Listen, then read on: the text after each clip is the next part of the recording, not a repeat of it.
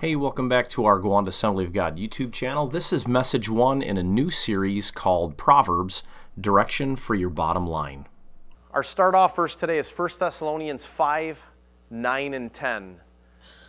For God has not destined us for wrath, but to obtain salvation through our Lord Jesus Christ, who died for us, so that whether we are awake or asleep, we might live with him. It's funny how fitting that verse is today, uh, just in light of the loss that we've had. But this wasn't something I planned because of that. It just, things fit when He does what He's going to do. What, the, the thing I really want to notice as we're starting off today in this verse is very simple.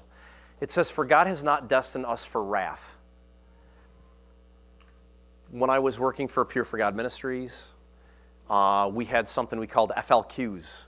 And that's simply you take a whiteboard or a notebook and you say, okay, we're going to look at a verse and we're going to say, here's a fact from the verse, here's a lesson I can learn from that verse, and here's a question I can ask myself from that verse.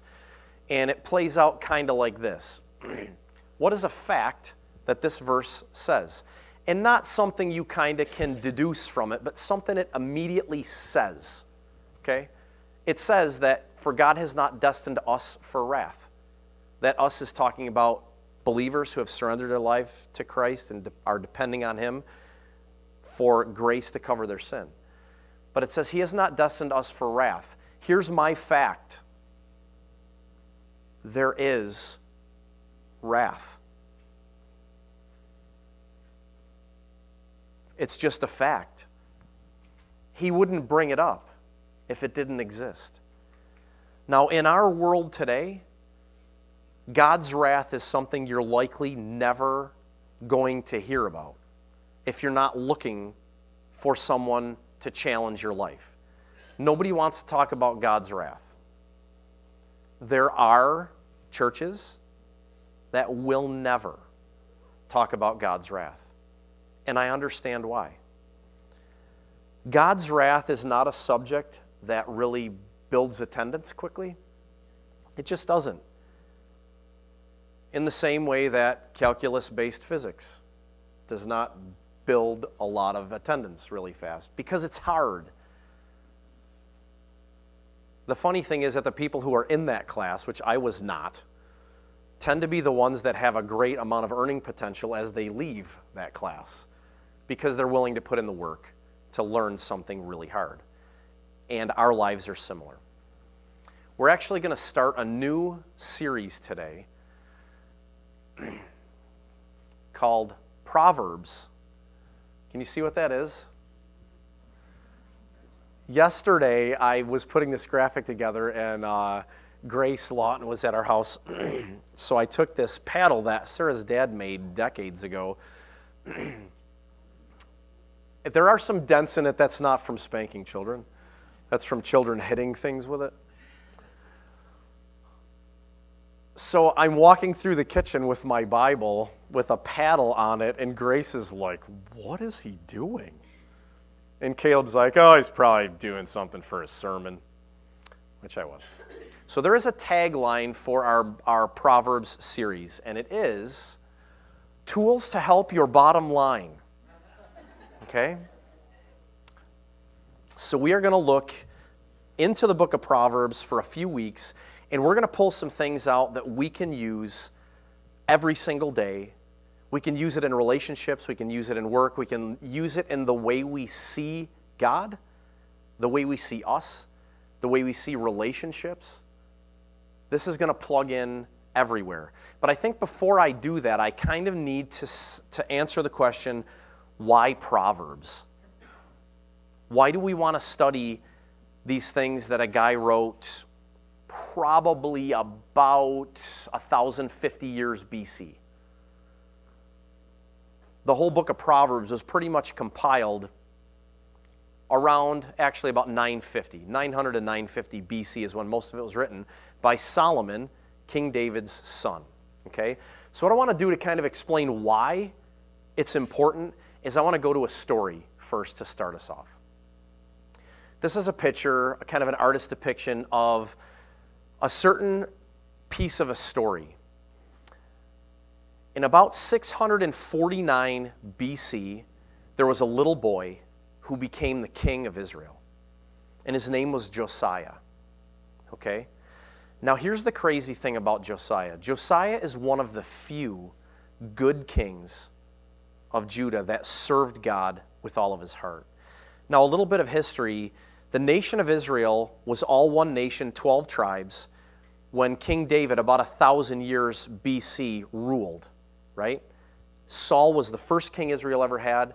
When God rejected him, David became, became king, David and Goliath, all those stories. He's about a thousand BC. When David died, his son Solomon became king and built Israel's first temple. And in the dedication of that temple is one of the places is where we get the scripture where it says, For if my people who are called by my name will humble themselves and pray and seek my face, then I will hear from heaven and I will forgive their sin and heal their land. That scripture comes from when the temple was being dedicated, and God is saying, if you will honor me and follow me and keep my commandments and, and respect my laws, then there will be blessing on you. But if you don't, then there will be curses and hardship and death and famine and destruction will come on you. But even in that place, if my people who are called by my name, that's where that scripture comes from. Okay? God said that to the guy who wrote Proverbs. Okay? So it makes sense that he would have a focus on God's commands. Now, one thing I got to say is in the Old Testament, there were rules and laws that aren't the rules and laws today because so many of them painted a picture of what Jesus would do on the cross. So a little bit of the details have changed, but the heart of it has never changed. And the heart of it is what has God said about His world and my heart? And will I choose to respond to Him or will I choose to run after wickedness? The Bible says our hearts are deceitful above all things and desperately wicked. Who can know them? It means that our hearts, if left to themselves with no focus on God, will run after whatever pleases me. And our hearts will tell us, it's fine. It's really not a big deal because they're deceitful. They're kind of like a little child in what they tell their parents when they're asking for things. You know, when they get to that age when they start to realize that there is some information in their quest that is detrimental to a proper response, right? So they don't tell you everything. Like, I've never had a child come to me and say, Hey, Dad, um, can I have a cookie? Mom said no. Never had that. I've never had that ever happen, right? There was a time, super funny, when we were when we first had uh, candy bars and stuff in the in the store. I think it was Levi, right? So Levi was about two years old, and he's standing in in front of the register, and it's like just shelves full of candy bars. And he says, "Mom, can you go somewhere?" And suddenly it struck her I think I may know why he said that. Yeah. she didn't go away, so there was no yay. But nobody has to teach us to be deceitful, it comes naturally, right? Okay, so here's a story of King Josiah. About 300 years before King Josiah was born, there was an evil king. And the kings of Israel, for whatever reason, would set up altars to foreign gods like Baal and Asherah, and they were brutal. There were times when people in the nation of Israel sacrificed their own children to false gods. And the details are unimaginable inside of that. I won't tell you all the details of it. But they would do this. And so these these kings were setting up altars, and a prophet said, There is a king coming whose name will be Josiah. And he will tear down these altars and he will kill the false prophets and burn their bones on these altars. Now imagine somebody in, oh, say, 17, 18, prophesies that a leader will rise up by a specific name and will do a specific thing. And it happens. That's what happened in the life of Josiah. Now, I wonder if his mom and dad named him hoping that he would be that man, but I don't think so. Because the king right before Josiah wasn't a good king. He wasn't a king who served God, he was a king who didn't. And so, why would he name a son this name that had been prophesied 300 years earlier that would come and destroy all the evil things these kings had set up? So he's born. You know how old he was when he became king? He was eight. He was eight years old when he became king of Israel because his father was killed. So, 18 years into Josiah's reign, which would have made him 26, one of the priests that served in, the, in that time came across a scroll that had the law. The first five books of the Bible are referred to as the Torah, and they have all of the law that was given to Moses and the people way back when they had just come out of Egypt. And one of these priests found this and he brought it to Josiah, and they begin to read it. And this is Josiah's response he tore his clothes. Do you want to know why he tore his clothes? Because he had never heard the law before.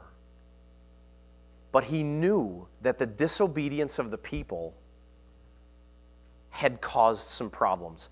Let's read a couple of verses from 2 Kings chapter 22. Now this story is also in I believe 1 Chronicles 25 or 30 right in there. It's told in two different places. Some of the books in the Bible like the the two books of Kings and Chronicles, they're historical books and they overlap in details. Sometimes one of them will give more detail and sometimes the other will, but they're talking about the same time periods. So let's check this out. When the king heard the words of the book of the law, he tore his clothes. And the king commanded Hilkiah the priest, and, ah- and Ahikam the son of Shaphan, and Achbor the son of Micaiah, a lot different names back then, and Shaphan the secretary, and Isaiah the king's servant, saying, Go inquire of the Lord for me, and for the people, and for all Judah concerning the words of this book that has been found. For great is the wrath of the Lord that is kindled against us because our fathers have not obeyed the words of this book to do according to all that is written concerning us. Josiah understood that wrath is a real thing. And whether or not the wrath of God is applicable to your life has everything to do with whether or not you have believed what he has said and whether or not your life is conformed to what he has said. If you're going to disregard what God has said about you and His world and what's right and wrong, you are going to put yourself in a place where the wrath of God is due on your life. The New Testament, Paul's writings are littered with situations where he talks about the wrath of God stored up for the children of disobedience and, and this person and that type of person and liars and deceivers and fornicators and these people will not enter the kingdom of heaven.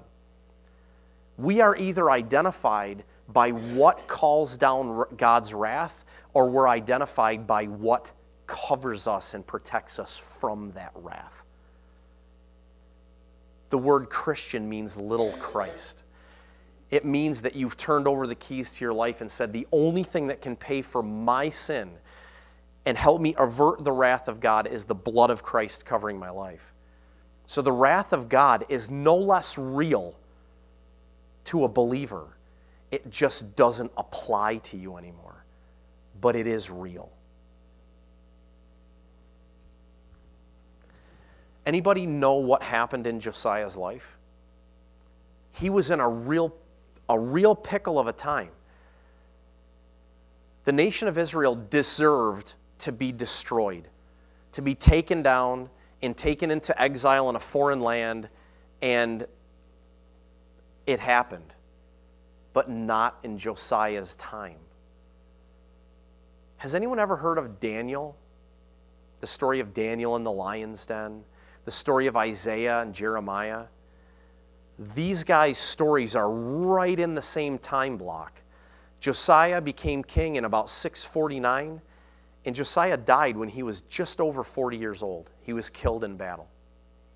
And the destruction of Israel followed his rule because the hearts of the people went back to their old ways. Do you know that he destroyed all the high places? He tore them down and he killed all the false prophets and he burned them on the altars. He did what had been prophesied. And God told Josiah when they inquired of the Lord that destruction was coming on the nation of Israel, but that he would live his days in peace and that that destruction would not come until he had been gathered to his fathers and was at rest. Do you know why God said that would be the case? Because when Josiah was made aware of what God's word has said, he was repentant and he humbled himself and he turned his attention to what God wanted. And the first thing he did is he told the priest, please pray and see what God says about our whole nation because we have incurred his wrath. Josiah had not lived an evil life. He had never sacrificed to an idol. He hadn't worshiped an idol. From the time he was a young boy, he had served the Lord with all of his heart. But he names himself. He says, We. And he doesn't see himself as faultless before God. He sees himself as guilty.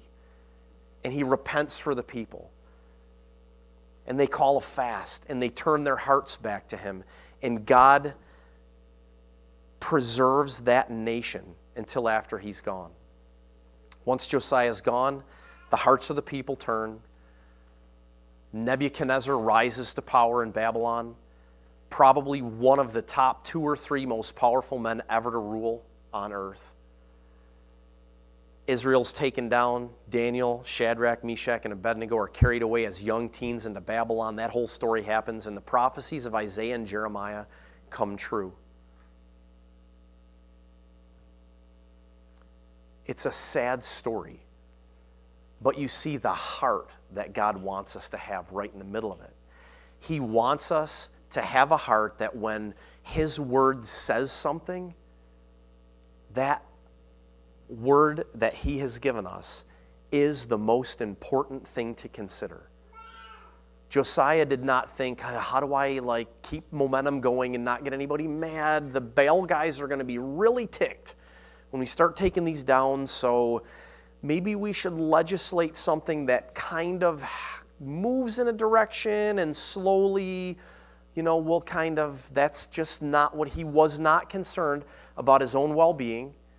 Whether or not he would be assassinated for tearing down the altars of these people who worshiped Baal and these other gods, his priority was being right before the God of Abraham, Isaac, and Jacob, the creator of the world. That's not the world we live in today. Today, our world revolves more around how's everybody going to feel about that than what has God actually said. I want to go back to the opening verse real quick. For we are not appointed unto wrath because we've given a way of escape from it. But wrath has not gone away, it didn't disappear when Jesus died on the cross.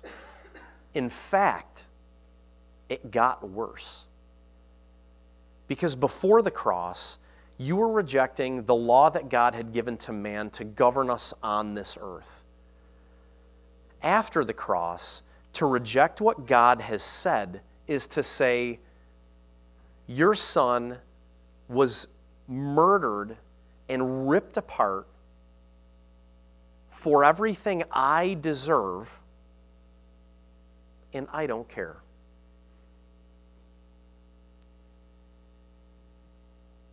That's like going into court having committed a serious crime and then spitting in the face of the judge. It's actually worse now, unless your life belongs to Him. When your life belongs to Him, there is so much right there at your disposal. I mean, there's so much life to be had here in peace and direction. He says, Get in the yoke with me, pull along with me.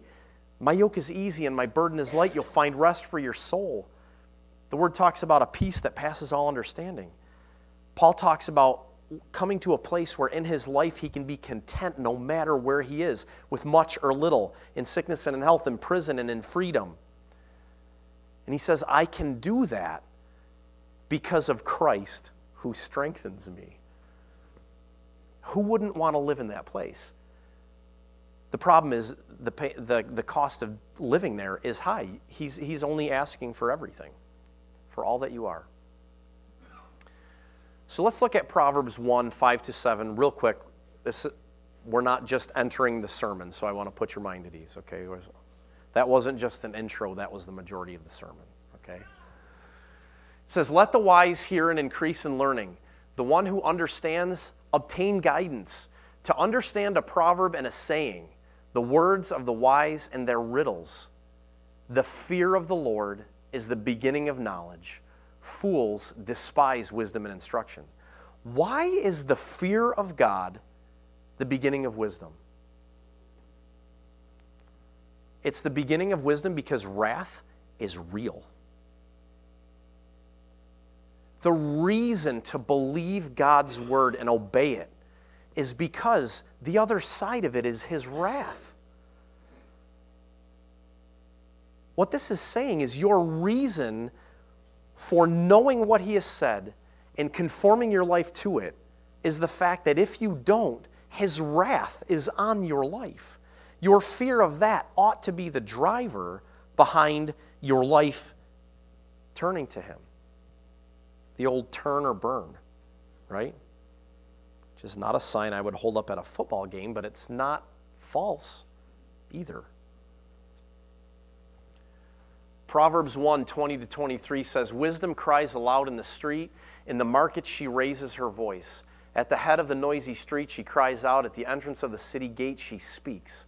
It's pretty much saying everywhere, everywhere you turn, wisdom is crying out to be heard. How long, O simple ones, will you love being simple? How long will scoffers delight in their scoffing and fools hate knowledge? If you turn at my reproof, behold, I will pour out my spirit to you. I will make my words known to you.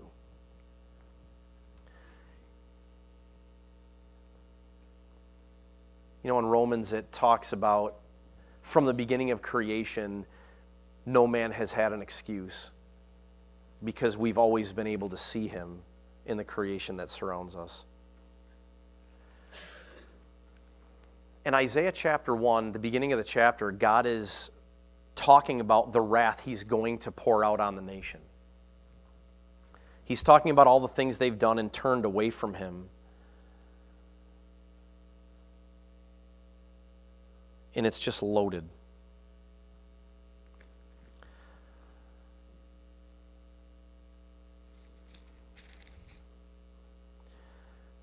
Talks about their feasts, new moons and your appointed feast, my soul hates. They have become a burden to me. I am weary of bearing them. When you spread out your hands, I'm going to hide my eyes. Don't bring me any more offerings. Incense is an abomination to me.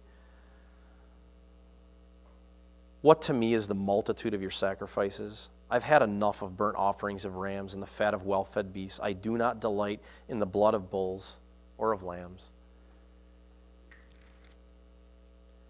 Even though you make many prayers, I will not listen. Your hands are full of blood. Wash yourselves, make yourselves clean, remove the evil of your deeds from before my eyes. Cease to do evil, learn to do good, seek justice, correct oppression, bring justice to the fearless, plead the widow's cause. One of the problems is that as human beings, we can't do any of that. We can try, we can do some good things, but we are unable to be right before Him. Have you ever heard the verse, Come now, let us reason together, says the Lord? Though your sins are like scarlet, they shall be as white as snow. Though they are red like crimson, they shall become like wool. If you are willing and obedient, you shall eat the good of the land. But if you refuse and rebel, you shall be eaten by the sword, for the mouth of the Lord has spoken. That's Isaiah 1. That verse falls right in the middle of God telling Israel about what's going to happen because of his wrath. Isn't that like one of the most incredibly compassionate verses you've ever heard? And it falls right in the middle of God talking about his wrath. That is the grand picture. Would Josiah have cried out and asked his priest to inquire of the Lord if he didn't think the Lord had any capacity to show him mercy? Probably not. It wouldn't have been worth it. Just this morning, I was listening to a snippet of uh, a sermon, and this verse was mentioned, and I have to kind of close with this verse. 2 Corinthians 5:21 For our sake he made him that him is Jesus for our sake God made Jesus to be sin who knew no sin so that in him we might become the righteousness of God the wrath of God is real. And the wrath of God is poured out on the sin of man. And this says that God literally made Jesus the object of his wrath. He made him sin who knew no sin. So that wrath that is real was paid for in the life of everyone who surrenders to him that day on the cross. Everyone who surrenders to him and accepts that gift, that wrath was paid for. For him who rejects the cross, the wrath still applies. That's the truth. So, for every unfortunate soul in this world that hates God, he loves them deeply and wants to save them. But his wrath is real, and it will visit them when their life is over, if not sooner. That's the truth. That's the reason we run to the Word of God, not to make our life more comfortable, to be saved from the wrath of God and flooded with His love and payment and peace and joy and purpose. We cannot forget the backside of all the wonderful things that we have when we're saved. So know that that world out there is going to suffer his wrath. That's a reason to pray that if you don't reach them, someone does. That they come across Scripture, that they have an opportunity to surrender their lives to Him. Okay? The Bible talks about there comes an end to His mercy. When judgment happens, it's too late to go back.